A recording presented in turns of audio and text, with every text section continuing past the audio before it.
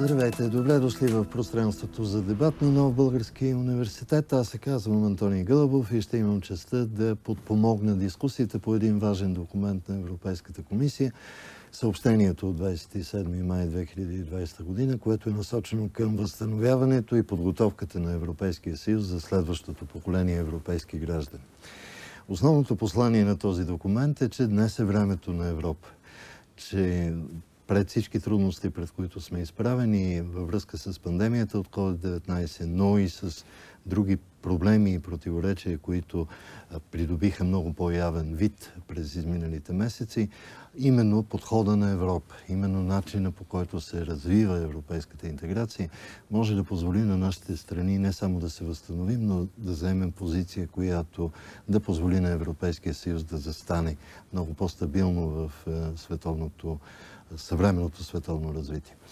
В тази част на дискусията събеседниците ми са госпожица Моника Панайотова, която е бивш европейски депутат, бивш министр на Министерството на Европредседателството на България и журналиста Калин Манолов. Здравейте. Добре дошли. Благодаря ви много.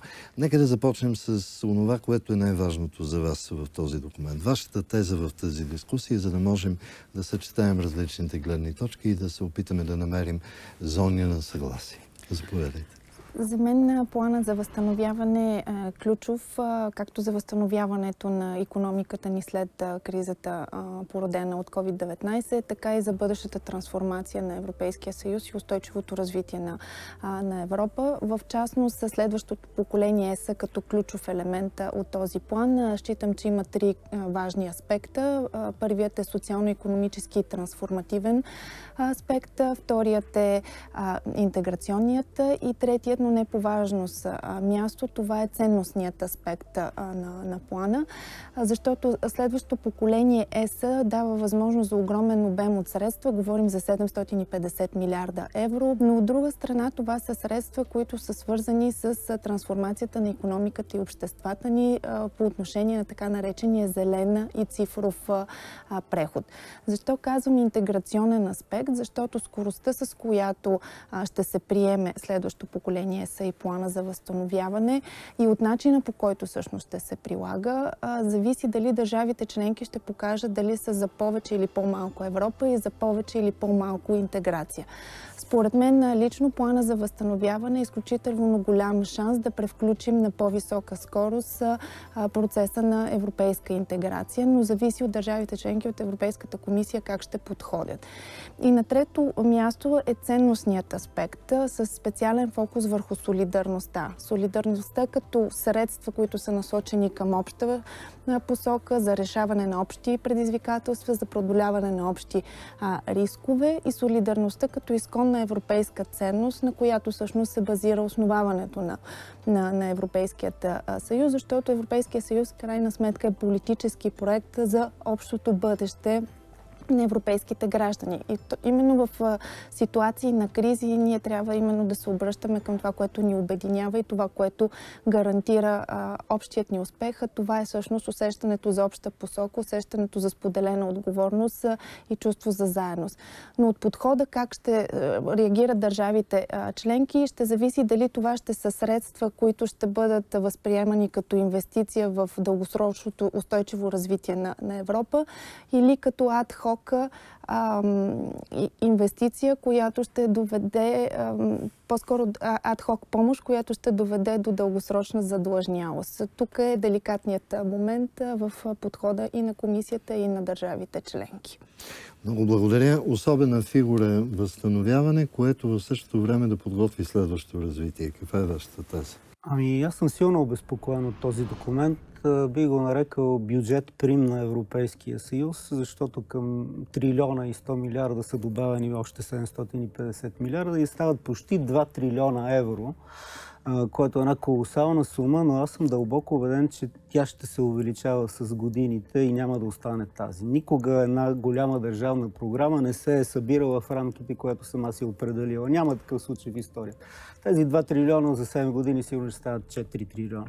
Което е най-обезпокоителното за мен, защото от същия вертолет, от който ще се хвърлят пари върху сегашното поколение, ще се хвърлят празни портфейли върху следващото.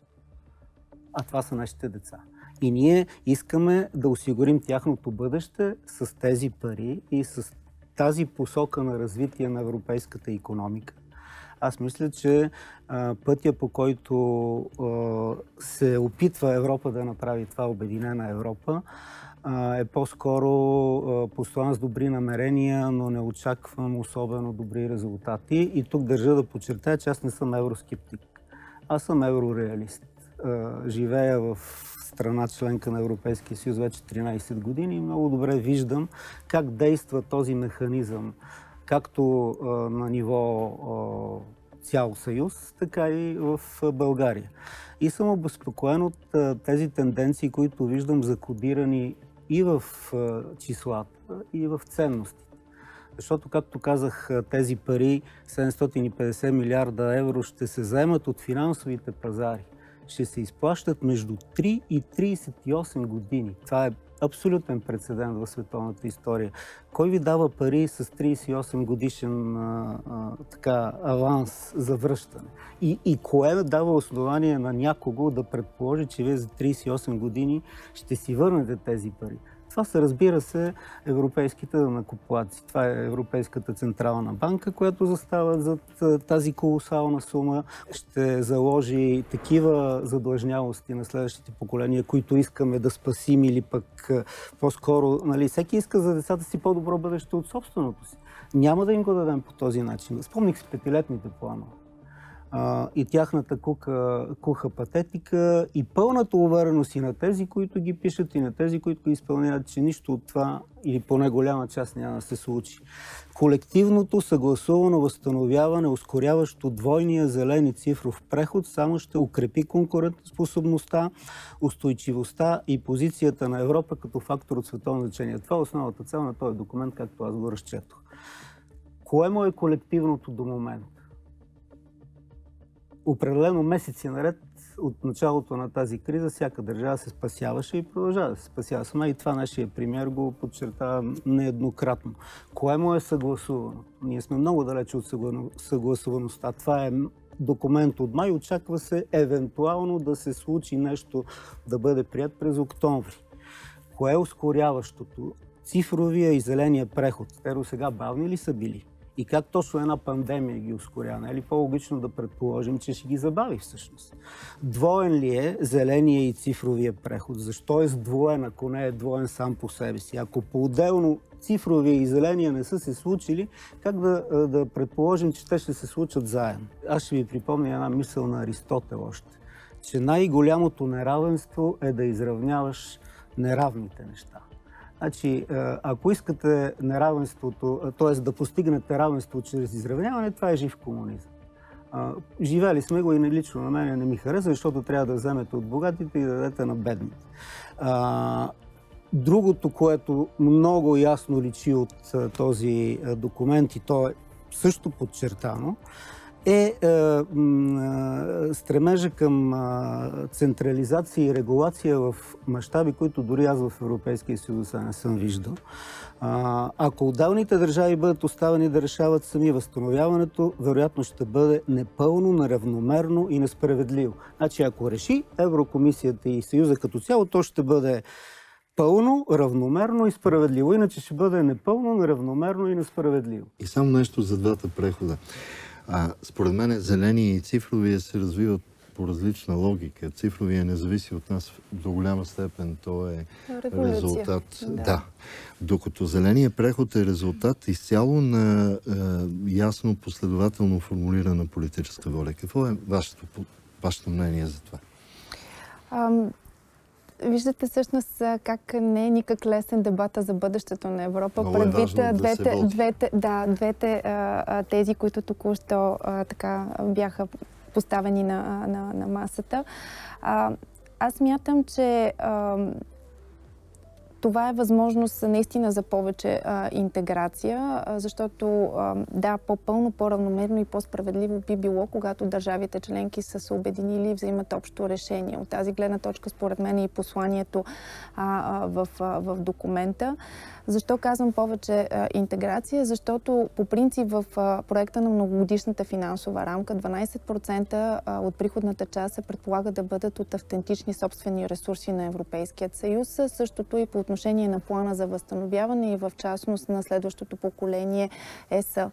Разбира се, от тук нататък предстои да бъде предмет на дискусии какви да са източниците на, на собствените ресурси, дали ще бъдат данъци свързани с вредните а, въглеродни емисии или дигитални данъци свързани с големите дигитални компании, основно а, ситуирани в трети а, страни. Да, но те ще бъдат автентични собствени ресурси, т.е. това е една а, крачка напред а, по отношение на европейската а, на интеграция, склонността на държавите да отдават а, суверенитет в тази посока. А, и винаги, когато си говорим за европейските средства, за европейския бюджет, мисля, че е коректно да, да подчертаваме един важен факт, че европейския бюджет е около 1% от общия брутен вътрешен продукт на Европейския съюз. Между 30 до 40% всъщност са парите, които се от общия брутен вътрешен продукт на Съюза, които се управляват на практика от а, националните, минават през националните бюджети, през държавите членки.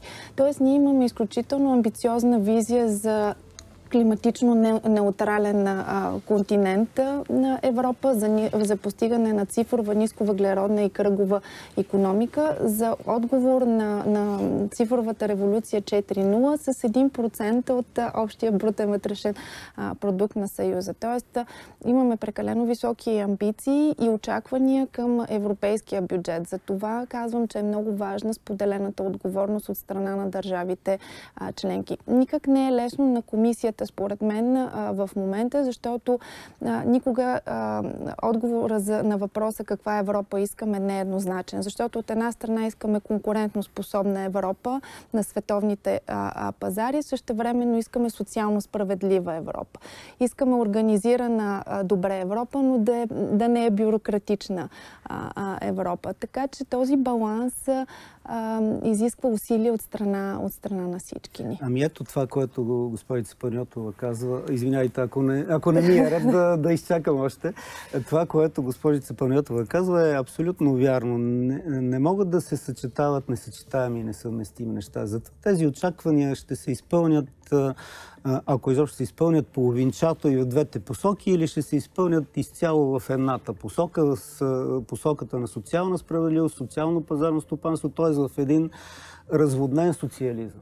Това е нещото, което аз мисля, че Европа улевява прогресивно и това не е добра новина и за нея, и за България. Много ви благодаря за тази дискусия. Наистина важни, високи цели, много амбициозни, дълбоки и сериозни теми за дебат. Благодаря ви много. В крайна сметка постигането на този резултат зависи от всички европейски граждани, както и постигането на съгласие. Благодаря ви.